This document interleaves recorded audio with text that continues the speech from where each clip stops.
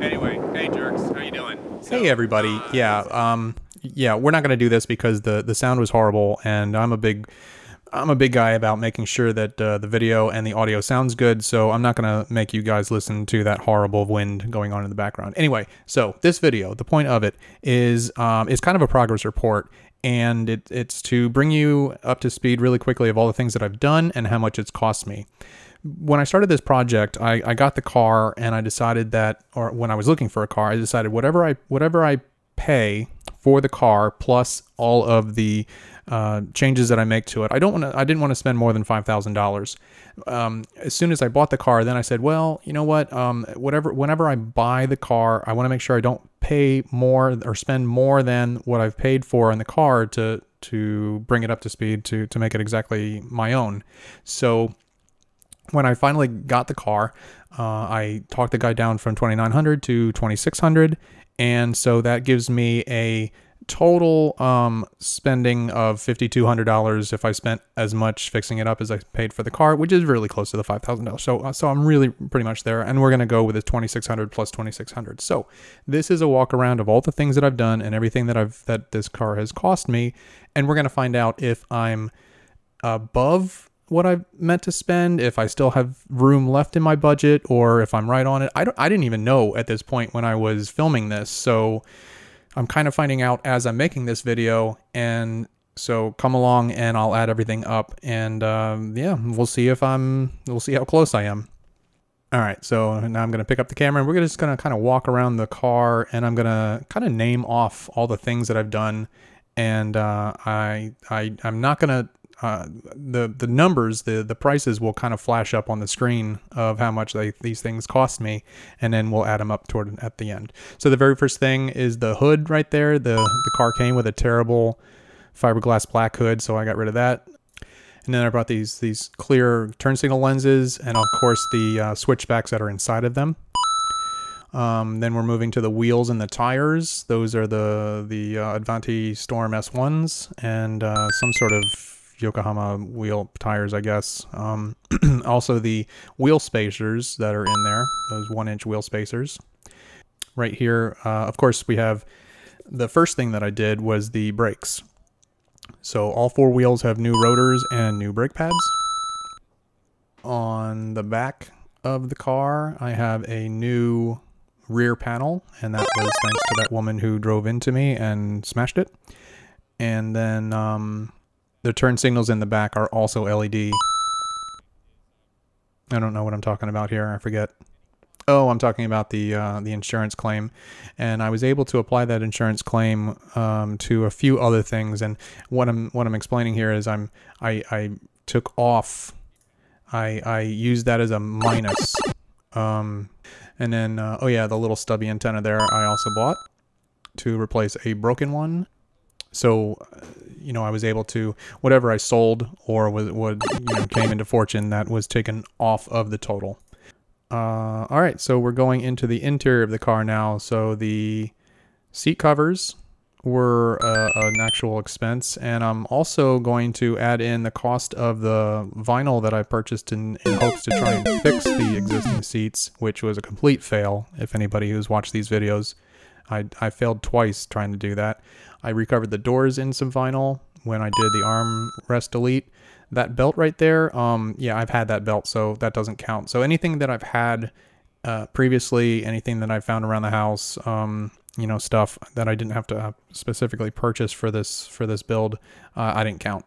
So also the uh, materials that I used to cover those little panels right there, that even counts. It's just a couple bucks, but uh, I still count it. And then we have a, where are we going? We're going to the other side of the car for some dumb reason.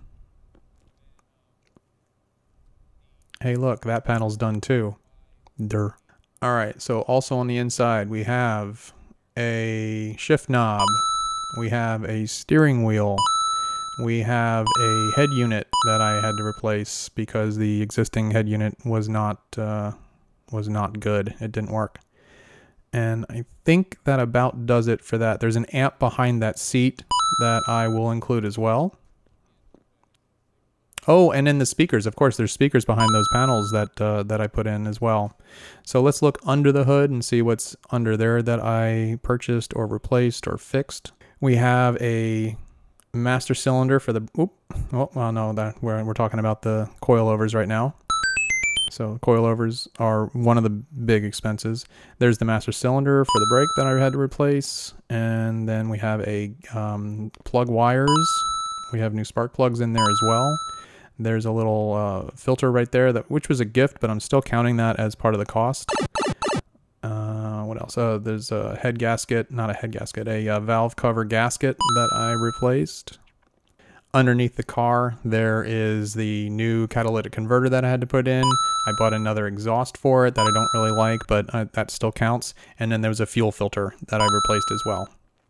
And then there's paint that I used to paint the uh, valve cover and then the heat shield. But uh, those are sort of incidentals, and I, I, I add that stuff in, but um, you know, it it was something I had to purchase for the build, so that counts. All right, so that is about it. That's uh that's what I've done so far for the car, and um, right now I'm kind of adding everything up, and you're seeing a big list of it right there. It's a lot of stuff when when you add it all up, and um, so I am talking about some bullshit right now, and I'm I don't know. I guess oh I'm talking about uh, even if I've gone over, fuck it. Uh, 2017 is a new year, and that means uh, new projects and new monies to spend on this car. You know, I'm, I'm basically calling this car done. There's nothing else major, excuse me, there's nothing else major that I'd like to do except replace the dashboard, and then it would basically look like a completely restored vehicle.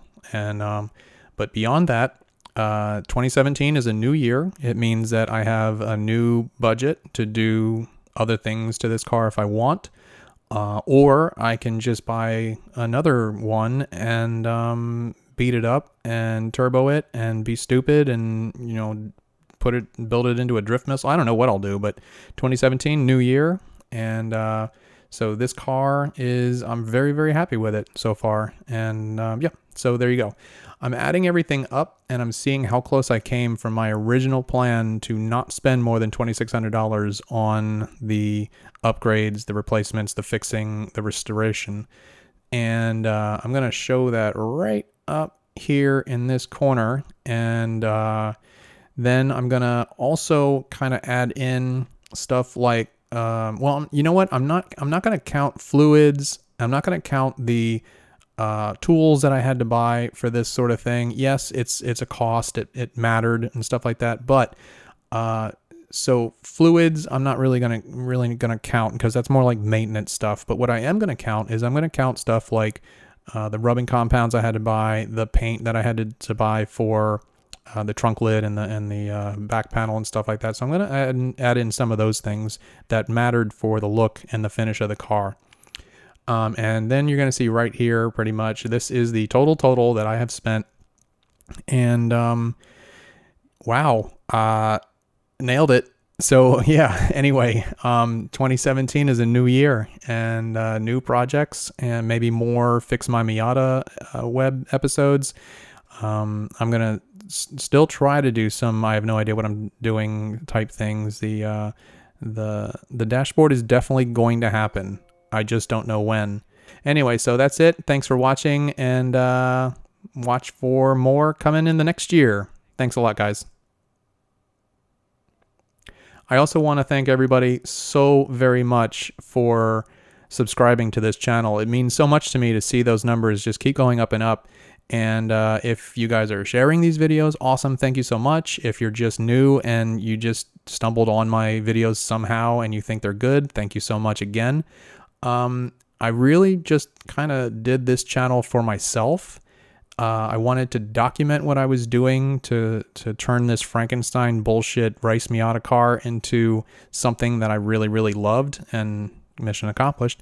But uh, having everybody kind of watch these videos and and the and the few of you that that make comments and, and ask questions. I love it. You know, I, I really enjoy the Miata community and I really enjoy being part of it. So thanks, keep it up, and uh, thanks for subscribing. And I hope to bring you more in 2017.